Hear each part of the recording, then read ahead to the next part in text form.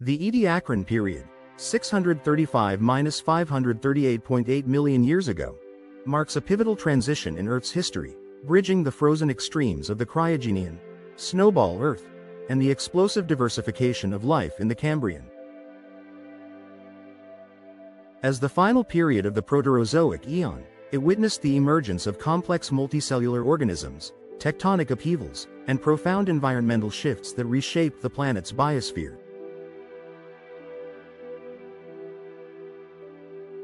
Time frame. Spanning approximately 96 million years, the Ediacaran succeeded the Cryogenian glaciation and preceded the Cambrian period. Its boundaries are defined by the end of the Marinoan glaciation and the appearance of Treptichnus pedum trace fossils. Naming and recognition. Named after South Australia's Ediacara Hills, where Reg Sprigg discovered its iconic fossils in 1946, it became an official geological period in 2004, the first new period ratified in 120 years. The type section resides in Brachina Gorge's Enorama Creek, distinct from the namesake hills. Tectonic activity.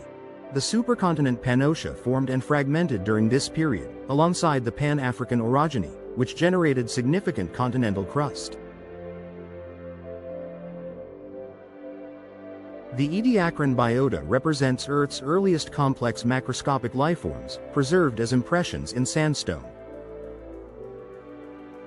Notable groups include Proarticulata, segmented bilaterians with glide symmetry. Petalonamae, frond-like organisms resembling sea pens. Trilobozoa, tri-radially symmetrical forms with uncertain affinities.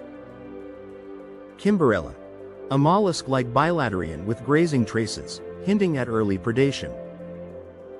Habitats, thrived in shallow marine environments, with some adapted to deep-sea settings. Preservation bias. Soft-bodied organisms fossilize due to microbial mat stabilization and rapid burial in coarse sediments. Reproductive strategies. Evidence of asexual budding and propagule dispersal. Avalon explosion. A radiation event marked by sudden diversity in body plans, predating the Cambrian explosion. Origins of metazoans. Molecular clocks and microfossils, e.g.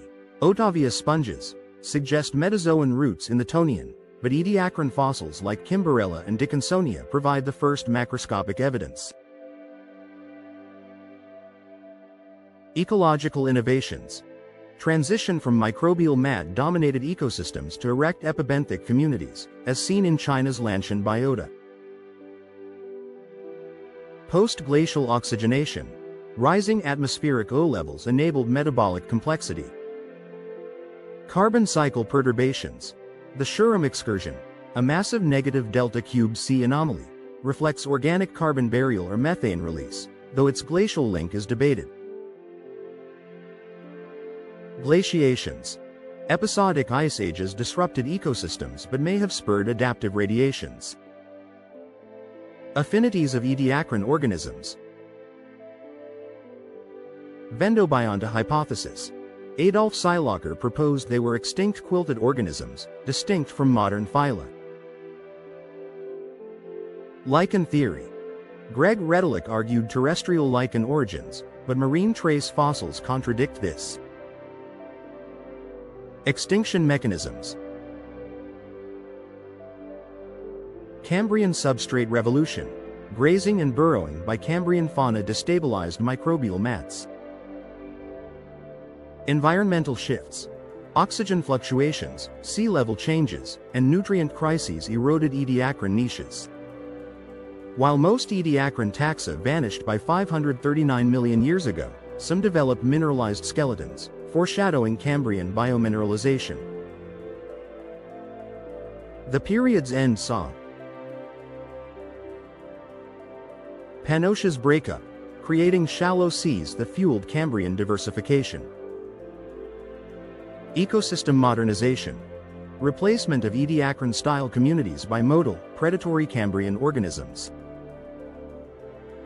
The Ediacaran period was a crucible of innovation, where Earth's first complex life forms tested evolutionary strategies amid climatic and tectonic turmoil.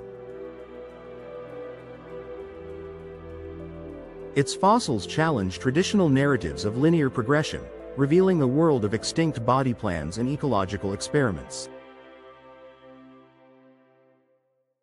By bridging the Precambrian and Phanerozoic, the Ediacaran underscores the interplay of biology, environment, and geology in shaping life's trajectory, a testament to resilience and transformation in Earth's deep past.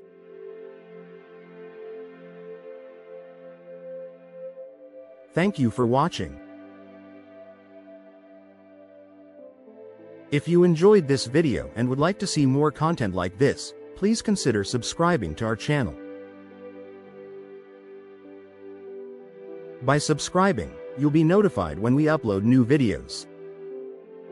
Thank you again for watching, and I look forward to seeing you in our next video.